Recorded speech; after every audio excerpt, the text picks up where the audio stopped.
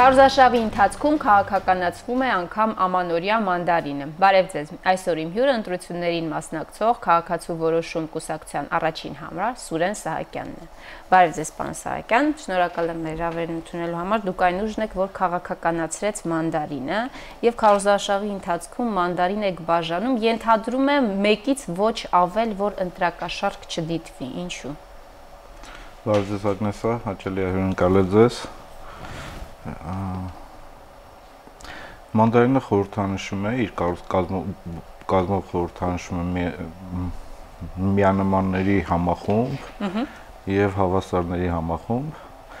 գումարած դրան, եթե դա բաժանում ենք, ստացվում է արդյունքի արդար բաշխում, բաշխման մի մոդել, դրանով խորհրդանշում է սոցիալ-դեմոկրատիայի հիմնարար արժեքները, արդարությունը, հավասարությունը, ազատությունը։ Դուք սոցիալ-դեմոկրատական ուժ եք։ Այո։ Եվ ձեր գույնը կանաչն է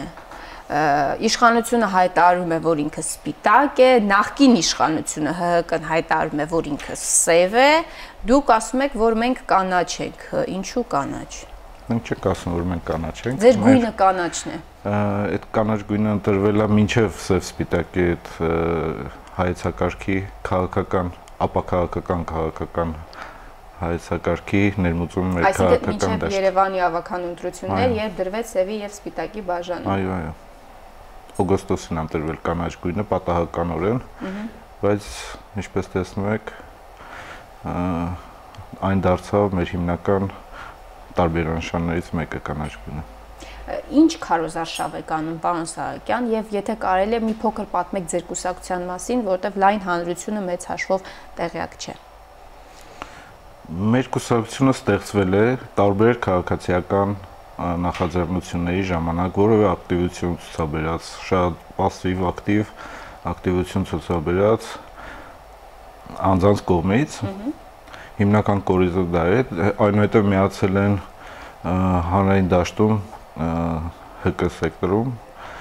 հասարակական սեկտորում մեծ փորձ կուտակած եւ հաջողություններ արձանագրած շատ անդամներ, շատ փորձագետներ դրանցով է կազմվել կուսակցությունը այն դրա ստեղծման աշխատանքները սկսվել են մայիսի վերջից ավարտին են հասցվել նոյեմբերի 13-ին պետական գրանցում ստանալով եւ ամսի 14-ին արդեն հայտ ենք ներկայացնել մասնակցել ազգային ժողովի ընտրություններին։ Ինչպես որոշեցիք ստեղծել կուսակցություն եւ հետաքրքիր դրվագ ընդգծեցիք մայիսի վերջին։ Երբ թվում էր, թե Հայաստանի Հանրապետությունը թևակողում է նոր փուլ եւ այլևս անհրաժեշտ չէ նոր կուսակցություններ Հայաստանին մեծ հաշվով։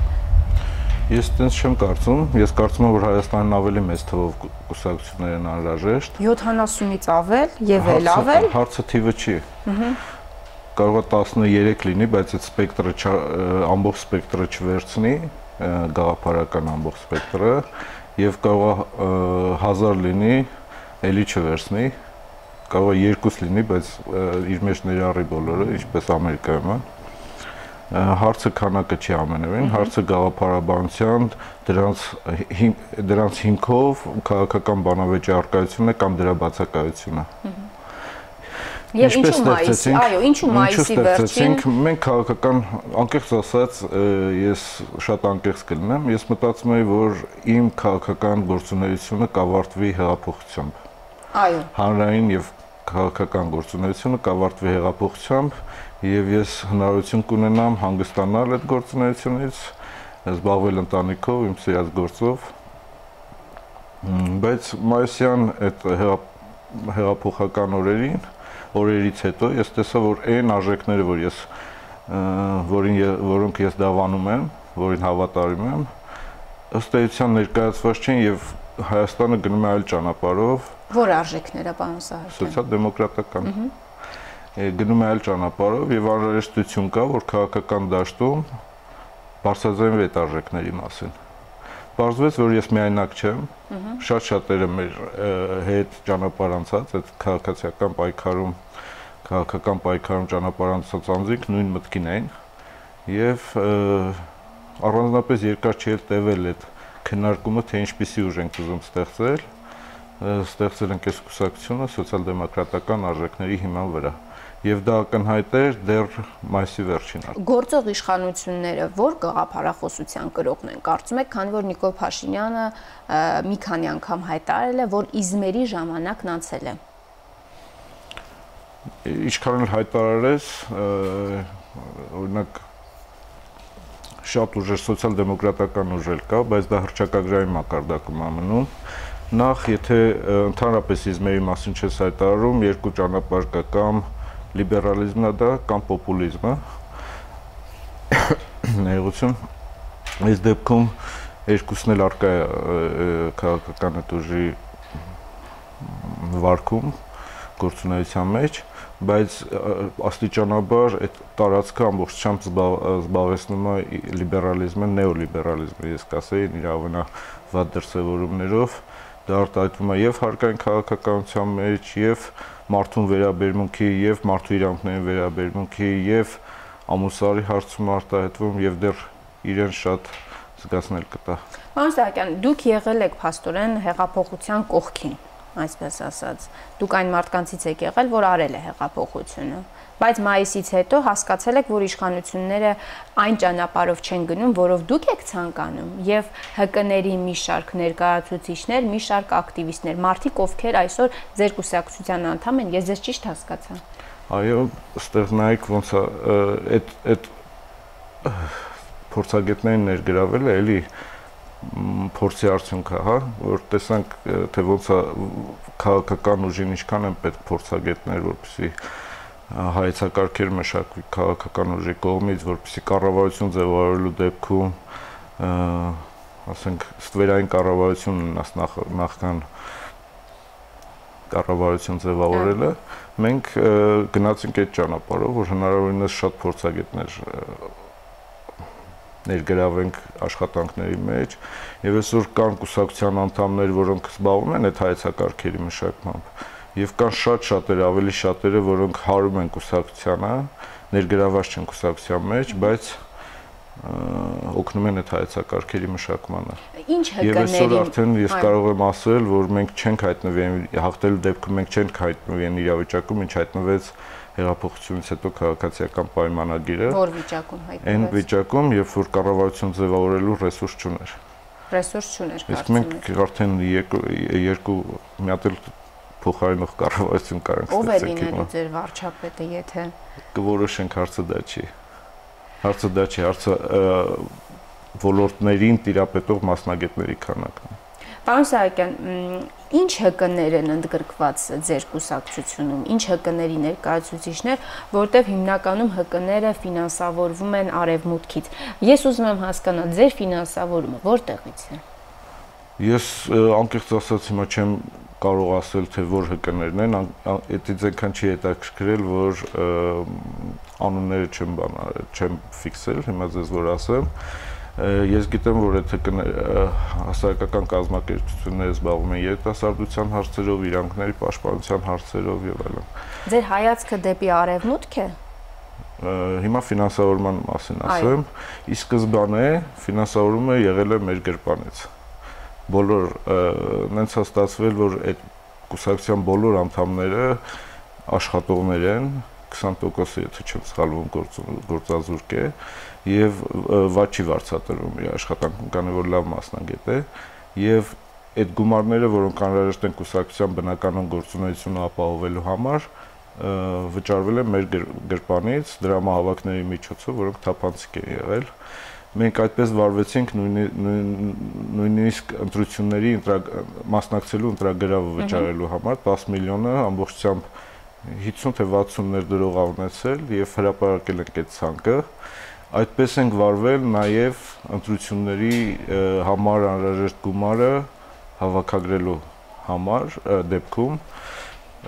եւ 20000 դրամով խորհրդանշանական քաղաքական մանդարիններ ենք վաճառել, ինչպես դուք ոչ թե վաճառել, այլ նվիրաբերողին նվիրել մանդարիններ եւ այդպեսով կուտակվել է մեր նախընտրական հիմնադրամը։ Քանի կիլոգրամ մանդարին եք հասցրել բաժանել քաղաքացիներին։ Երևի արդեն 400 400 կիլոգրամ։ Ձեր հայացքը դեպի արևմուտք է վերադառնալով նախորդ Ոչ, մեր հայացքը դեպի արևմուտք չէ, մեր հայացքը դեպի Հայաստան է։ Ոչ դեպի արևմուտք, ոչ դեպի հյուսիս, ոչ դեպի հարավ եւ ոչ դեպի արևելք։ Բոլոր արտաքին քաղաքական հարցերում մենք գտնում ենք, որ Հայաստանը պետք է նախ հարաբերությունների կարգավորի ուղիղ, ոչ թե միջնորդավորված ինչ-որ կազմակերպությունների միջոցով, եւ գտնում ենք, որ դրանք պետք է խարսխվեն երկու բանի վրա՝ Հայաստանի պետական շահը եւ Հայաստանի վերցած պարտավորությունները միջազգային պայմանագրերով։ Այդպես չի անում գործող իշխանությունը։ Ձեզ բավարարում է գործող իշխանությունների գործադրած ջանքերը։ Այդպիսի գնահատական տալու համար պետք է ժամանակ անցնի։ Նախորդ իշխանությունը այդպես չէր անում, նախորդ կառավարությունը պետական շահի վրա չէր բալանսավորում իր կարտակին քաղաքականությունը, այլ անհասկանալի լեգիտիմության դիմաց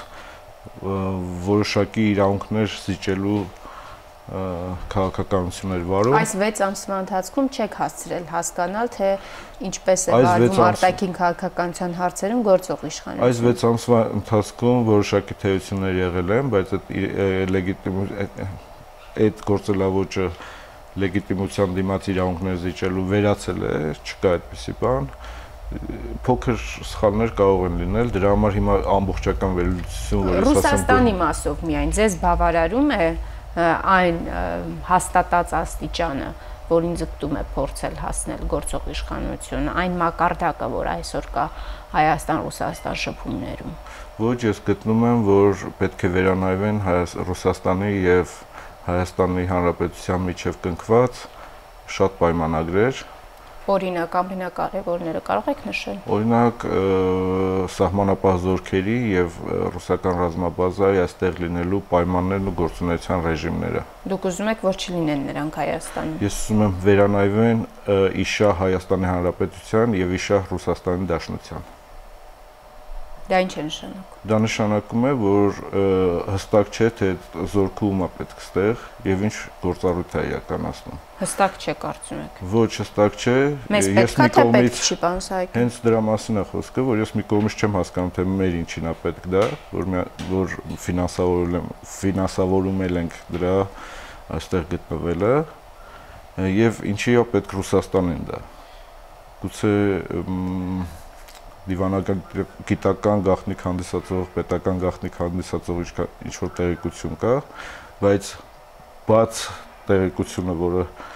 շրջանառվում է ռուսական բազայի եւ սահմանապահ զորքերի մասին, ստիպում է մտածել, որ այդ բազան ոչ Ռուսաստանին է պետք, ոչ էլ Հայաստանին, եւ սահմանապահ զորքերը ոչ Ռուսաստանին են պետք, ոչ էլ Հայաստանին։ Դուք հապկին եւ ԵԱՏՄ-ին դեմ եք։ Ավելին ասեմ, տեղեկություններ կան, որ Ռուսաստան շահագրգռված սահմանապահ զորքերը հանելու Հայաստանից հանելու գործում տեղեկատվություն այո 4 տարի 4 տարի առաջ առաջին առաջին առաջարկը եղել եւ Հայաստանը մերժել է դեպքում ինձ անհասկանալի է թե ինչի են դեռ սահմանապահ զորքերը այստեղ եւ ինչ գործառույթներ ու ինչ գործառույթներ իրականացնում ռուսական բազան այստեղ այս պահի դրությամբ ձեր տեղեկություններով Ռուսաստանի դիրքորոշումն ինչպիսին է այս հարցի մասով ուզում է էլի հանել? Այո այս պահի դրությամբ այո չէ սահմանապահ զորքերի մասին իմ տեղեկությունը դրա մասին է պահպանվում է դեռ այդ առաջարկություն պահանջ է այսպես ասած եւ դուք ինչի կողմնակիցն եք? Ես կողմ եմ որ Հայաստանի սահմանները պահպանեն Հայաստանի ազգային անվտանգության ծառայությունը բանակը Մենք բավարար թվով ռեսուրսներ ունենք, կարծում եմ։ Ես կարծում եմ, որ այո։ Մենք ինչպիսի պետություն ենք հիմա, մենք կարող ենք ինքներս մեր անվտանգությունը ապահովել թե չէ, այդ հարցն առաջ գալի։ Ես կարծում եմ, որ մենք ունակ ենք մեր պետության սահմանադրական տարածքը ապահովել, անվտանգ անվտանգությունն ապահովել եւ ունակ ենք տարածաշրջանում կարևոր դեր խաղալ անվտանգության արտահանման գործում, անվտանգության պահպանման գործում։ Շատ բարձր չի հնչում, պարոն Սահակյան։ Չնայած ձեր մեղմ ձայնին։ Ոչ, մենք մենք իրականում եթե ուշադիր լինենք օտարերկրյա մեր գործընկերների հայտարարություններին, նրանք անդադ շեշտում են, որ իրենք շատ են կարևորում տարածաշրջանային անվտանգության պահպանման մեջ Հայաստանի բարձր դերը, մեծ դերը։ Պարոն Սահակյան, դուք դեմ եք հապկին եւ ԵԱՏՄ-ին։ Հապկը մենք դիտարկում ենք որպես Ռուսաստանի Դաշնության եւ Հայաստանի մի կողմից եւ Ռուսաստանի Դաշնության եւ թուրքալեզու այլ պետությունների Ղազախստանի, Ուզբեկստանի մյուս կողմից ռազմաքաղաքական հարաբերությունները կարգավորելու մեխանիզմ ընդամենը։ Եվ չենք գնահատում հավաքական անվտանգության պայմանագրի կազմակերպության դերը մեր անվտանգության ապահովման գործում։ Բայց նաև չեք թերագնահատում, ենթադրում եմ։ Այն նվազագույնն է եւ մենք օրինակի վրա ենք չէ դա տեսել ինչպես է պատահում որ Հայաստանի վրա հարցակում կա բայց մի հատ դիվանագիտական քայլ նոտա չի հղվում որովե բայց հիմա Նիկոլ Փաշինյան այ մատ է թափ տալիս Բելարուսի վրա հաշիվ է պահանջում ես ասում եմ չէ դա հա չէ դա կարևոր չէ իրականում ես դրա անհրաժեշտությունը կարևորություն չեմ հասկանում խաչատ Յուրի Խաչատուրովն էր այնտեղ մեր քարտուղարը եւ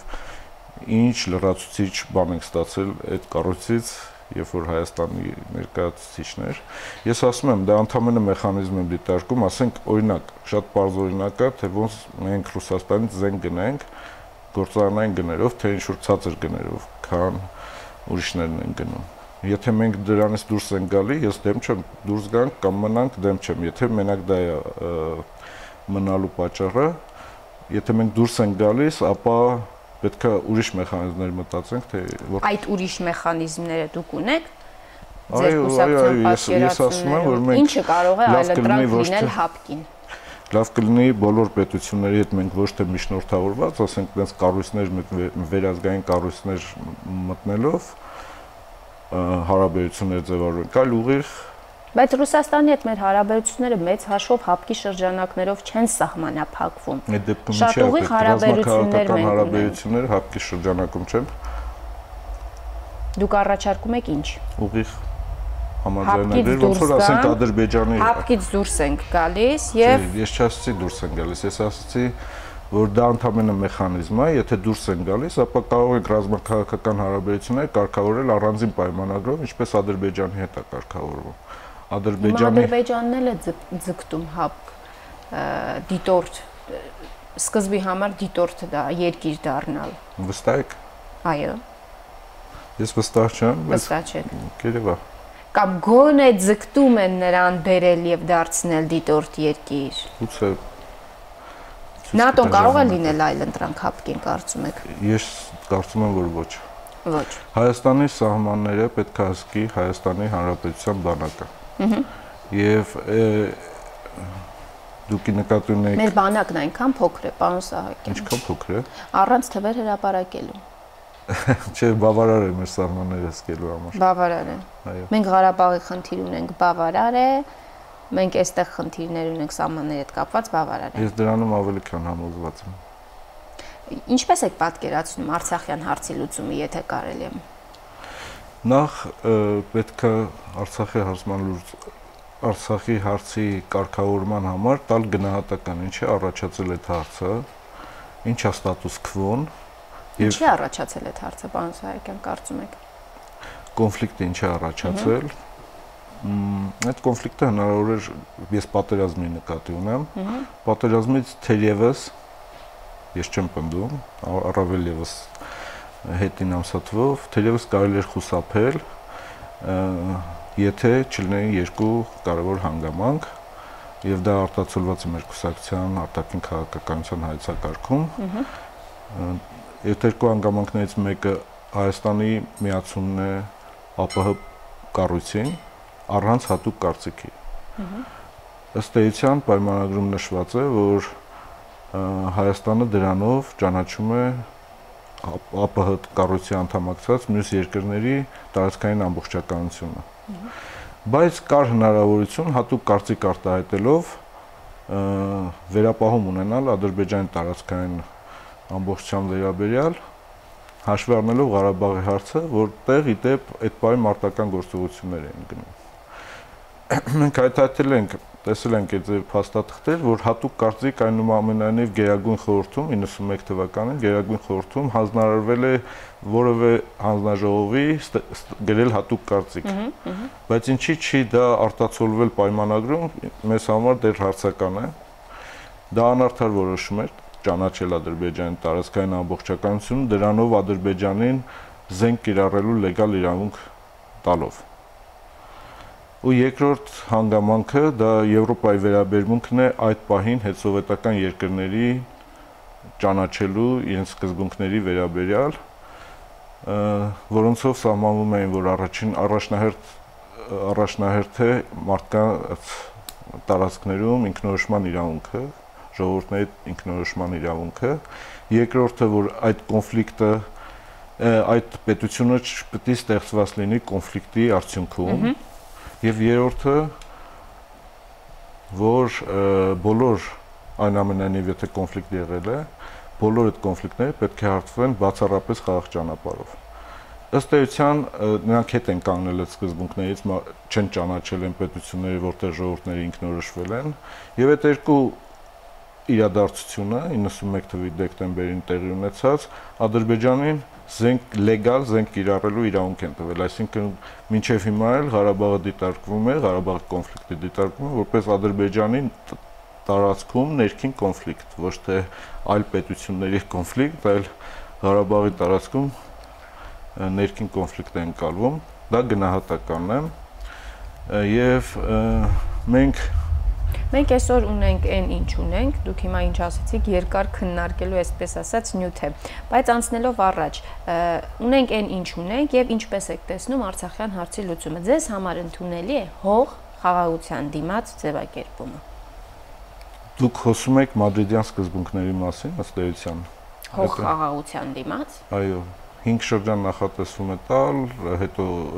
հանրակրվեն իրականացնել եւ այլն։ Վերջնական կարգավիճակ։ Նույնիսկ նույնիսկ այն ծայրահեղ վիճակում ոչ մի թիզ հող եւ